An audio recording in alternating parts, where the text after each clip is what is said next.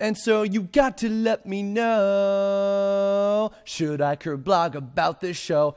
Yes, the answer is 100% very yes. Holy shit. Um, okay, so first of all, to anybody who has not seen Stranger Things yet, I will uh, not be. Uh, I won't be talking about major spoilers, um, but I will say that you're probably better off in in watching this right now if you have access to Netflix because you're missing something if you haven't seen it already. Because holy shit, um, I finished watching through it about a week ago. I'm recording this like way ahead of time, but this will be going up on uh, Saturday the 27th. Time travel. We uh, I, so I finished this a week ago today, um, and uh, my God, wow. Um, it's funny because it started off with um, when when I finished it, I, I, tweeted about how it was life changing, and uh, Martin, uh, little Kariba, was asking like, what what was it? What, what was it about it that was so life changing?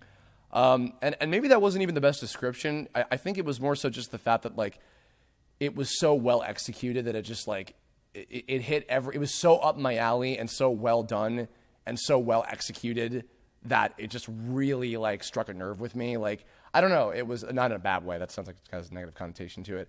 Um, I described it a lot as like it, it, and we were talking about this with uh, the one I did with Doug a while ago about how like it, it captured that sense of like childhood wonder, like true true wonder. Uh, except in this case, um, you know, because I was actually kind of expecting it to be mostly focused on uh, the kids and everything. But uh, basically, the way that the, so the the kind of setup with the show where it's kind of the not three different stories. Uh, I guess that they are kind of like an A, B, and C plot, but everything is all pretty interconnected, more or less. Um, you could maybe even argue that there's like a D plot in a way, um, but that has to do with one of the kid characters, and you know that might even come back into play if the show gets picked up for a second season. But nonetheless, um, yeah, it, it just it just caught that that like that true kind of wonder and intrigue about the world from the kids' perspective, uh, and it reminded me a lot of the friendships that I made back then, like the types of friendships that I made with the, you know, some of, the, of which are with people that are still, you know, part of my life to this day.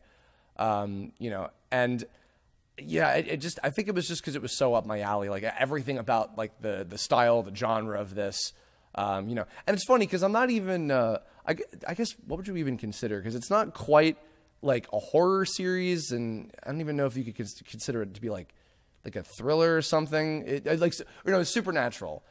Um, you know, and even even that, like I, I don't, you know, watch a lot of those kinds of shows. I don't watch Supernatural. Speaking of which, I don't even know if it's you know that much like this necessarily. I didn't watch really much of X Files or anything like that growing up, but yeah, just um, just something about this one.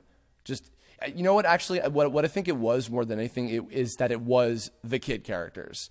Um, you know, I didn't know about the, the you know the, the, the other three sects uh, and that, well, the three sects in total, and that there was the kids, the teenage characters, and then the adult characters. Um, I knew that um, Winona Ryder was the, um, you know, the, the kind of major star attached, and she was fantastic. She gave a great, absolutely insane performance, uh, as it should have been. Um, and uh, David Harbour as uh, as as uh, officer or chief chief Hopper, my bad, not an officer. Um, and uh, and all five, to, I'll say five of the kid actors uh, all exceptionally talented. Like I completely bought because I've seen some other like kid movies where like they'll get kid actors and you know they're you know for usually pretty understandable reasons not fully into it or not you know super all that great or anything but like all five of these main kids were like outstanding performers like i every everything that was i fully believed that this was like a really tight group of pals uh, and not just because of the fact that like it like it was relatable to me and the friendships that I I, I didn't play D and D growing up sadly, um, but just just like they're they're kind of dynamic like it, it just it was completely believable. Uh, you know, even uh, even like the the couple. This isn't a spoiler because it's in like the first episode. The the bully kids, like I bought them too. Like they were like, yeah, yeah, no, I've, kids are that mean. It makes sense. Um, yeah, I they they definitely made the show for me. Not to say that the other characters weren't great, and the teenagers, which were probably the easiest characters that could have gone horribly wrong, especially with, you know, when you have teenage romance involved, which, you know, that's also. I'm mostly talking about stuff that shows up in the first episode, so I'm not really divulging much, but it's really easy to screw that shit up, and they handled it also exceptionally well in that regard. And the teenage characters actually turned out to be uh, actually a lot more relatable, I think, than you would expect nobody was obnoxious in the story, uh, you know, in- including the teenagers, which I, I think can can be the most obnoxious if they're like if they're written or executed wrong. But and also uh, all um, well, I think the guy who played uh, Jonathan uh, is relatively experienced, but I think that actually I think that um, the other three uh, teenage characters, I think that I believe the two girls are like like relatively new or, or maybe even completely new. I'm not sure. I haven't fully looked into what all of them have done, uh, but they were all great. Uh, and then the um, the love interest, the the love interest guy uh, St- Steve. Uh, Steve also uh, surprisingly didn't turn out like, like, that. That was the character I was expecting. Like, oh god, I'm gonna hate this guy by the end of the show. I was like, no, no, I totally get where he's coming from the whole time and makes sense. And yeah, it was it was funny. Like, the, I think these are actually some of some of the most relatable, realistically portrayed, uh, not just by the acting, but also just by the the the reactions that they were written to have based on all the stuff that was unfolding throughout the story uh, definitely some of the most well executed teenage characters I've seen in anything uh, in a very long time. If anything, on that same kind of note, actually, um, what I really liked about the sort of parallel, like, you know, all three of the different, um, you know, viewpoints of the world between the kid characters, the teenagers, and the adults, um, all of their perceptions were treated as incredibly real. Uh, like, none of them felt like they were forced, none of them felt like they were, you know, too, like, I don't know, um, like they were too like forced or or whatever, and especially also for it. I mean, I mean, I, I didn't grow up in the '80s, so I don't even. I, I guess like maybe older uh, listeners, if there are any out there that have seen this, that maybe I don't know if there were some like inaccuracies in how people were acting back then or whatever. I didn't really care. I loved the 80s style too as well, I, especially now that since I've been listening a lot more to the radio just by way of having driven more of living here um, I, am glad to say that I've become so much more familiar with all the music, like from, or, or, not from, but but used, I should say, from the '80s, used in this show uh, throughout the whole thing. Um, you know, as evidenced by the beginning, and that was cool because that that made that a lot more like, hey, this is really cool that like I'm getting all these kind of like you know '80s hits and everything, and they and they blend in very well to everything. Um, but uh, yeah, yeah, um, like the the the very kind of I guess um, the, the, the okay. So I talked about like the childlike wonder of from, from the kid's perspective, which was my favorite part uh, above all else, uh, and then the kind of like you know figuring yourself out and who you are and you know what's acceptable and where you're going kind of stuff about the teenage characters, and then finally the um, you know life is really fucking hard and life is really stressful. Kind of you know not to get too you know real about that either. But no, no, no, no. Actually, no, not even. That that is what it was. It was that it was treated real. The adults, the adults' character's perspective and how fucked up everything was. It was perfect. It was so so so well done. Like I, I'm still, I'm getting over it still. Like because like, I'm recording this like the day after I, I I finished watching the whole thing. I just like binged through. I binged through the first half one night and then the the next half the second night. Uh, and and just I was completely sucked in the whole time. And granted, I think that's certainly the point of a lot of these Netflix shows is that they want you to just be like so invested that you're like, you know, marathoning through the whole thing. But like, I, I enjoyed Voltron. I didn't binge through Voltron like I did with Stranger Things. Um, the amount of, of intrigue and the mystery, like you know, the, the thing is also what I'm happy about is there there wasn't um, there wasn't a whole lot of to, to me anyway a whole lot of predictable stuff um, you know, there was there was certainly some of uh, some of some like tropey kind of things kind of mixed in there once in a while, but again, the, the execution of them was so like spot on that I, I never really minded it. Um, you know, even uh, the romance, which wasn't you know the, the romance stuff was not uh, really at the forefront. Like it, it's really just kind of like woven in, and it, it's pretty natural, I would say. Um, you know, by and large, and um, yeah, it, it never, uh, it just never felt like it was too like up in its own ass or like trying too hard or anything.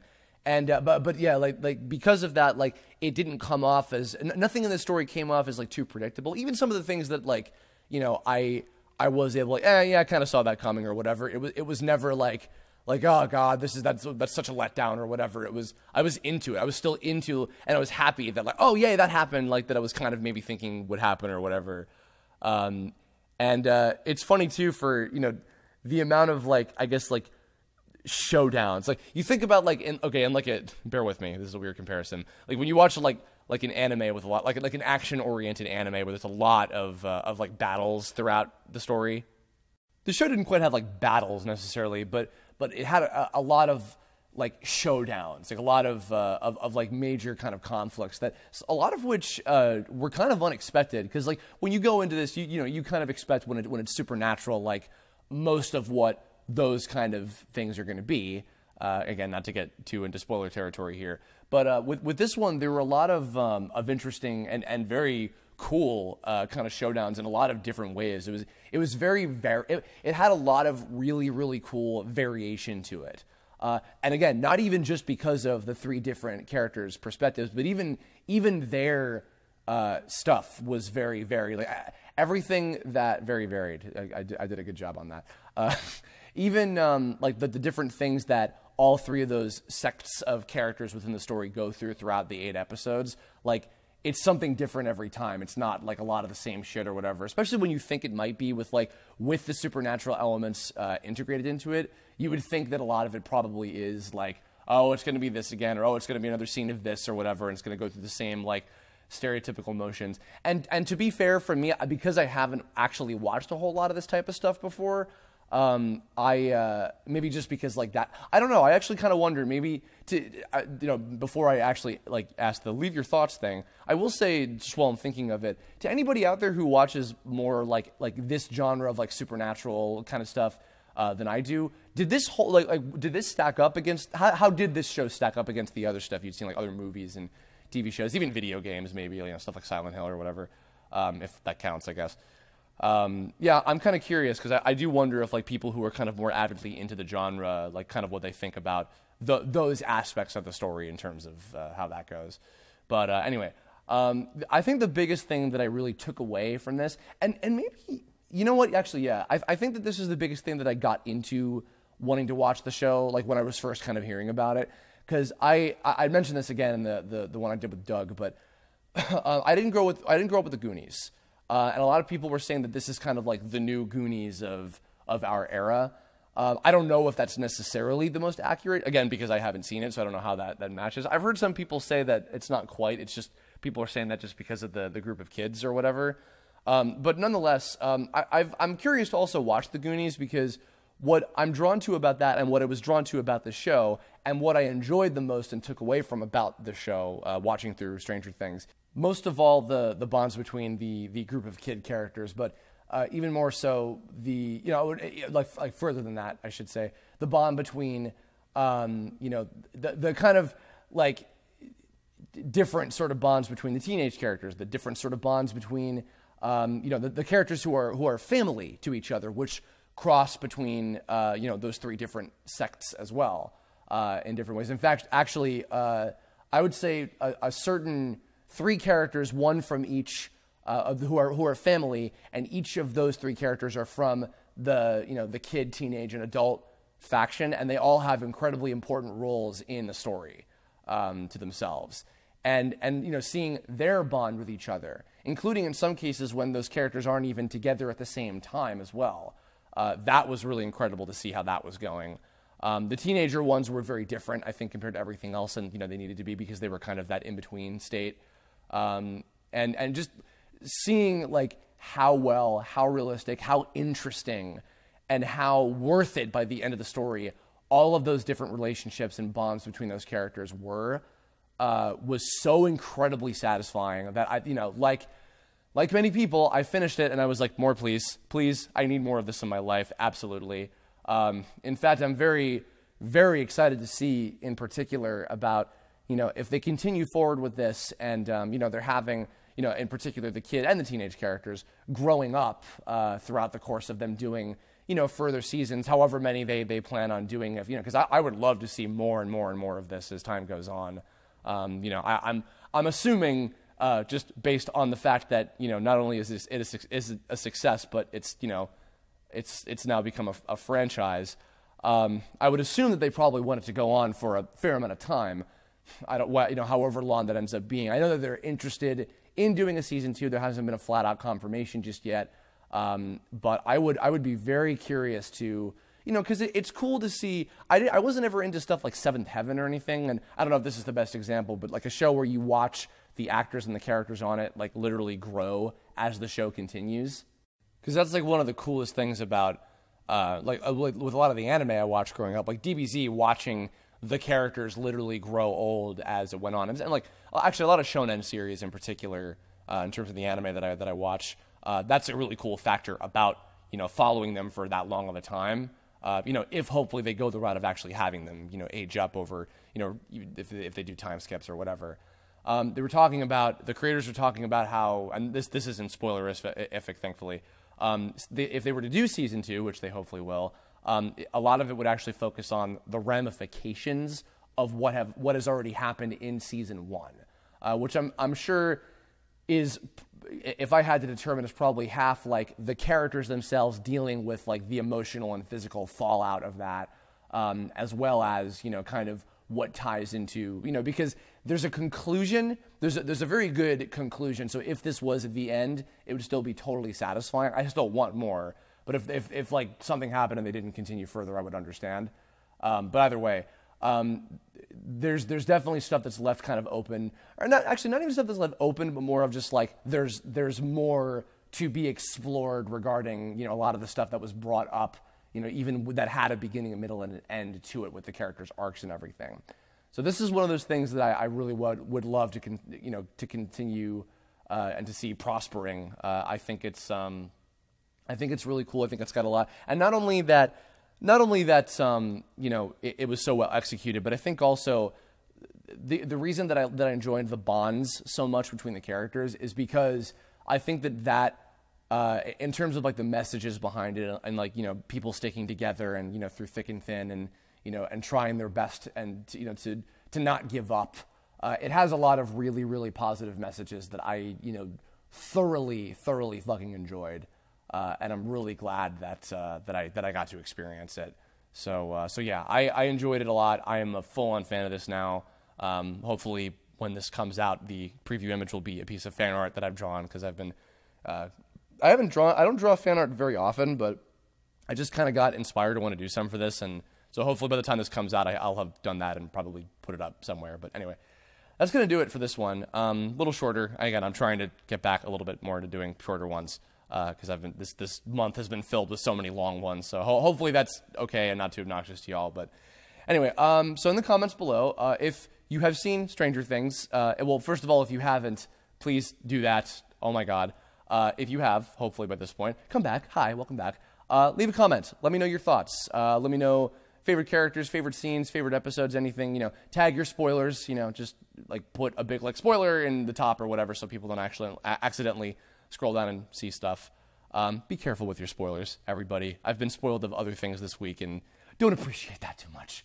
Uh, actually, last week, technically. Whatever. Anyway, time travel, whatever. Maybe there will be time travel in Stranger Things season two. Oh, God, I hope not. But maybe. We'll see. Whatever. Anyway. Uh, yeah, and then if you have future Kirblog topic suggestions, I, I, have one more plan for this month uh, with a guest. Uh, so will probably be a long one. Sorry, but I hope you enjoy it. It's one that actually I've been uh, trying to do for a while. I've got a cool guest for it, uh, another first-time guest. September will be more of the normal stuff, and then I've got some cool stuff planned after that. Uh, but yeah, so if you have suggestions for other Kirblog topics, uh, you know, related to things or otherwise, uh, leave a comment about that too, or hit me up on Twitter, Tumblr, Facebook, the usual shite. Thanks for listening, and I will catch you all on the upside down.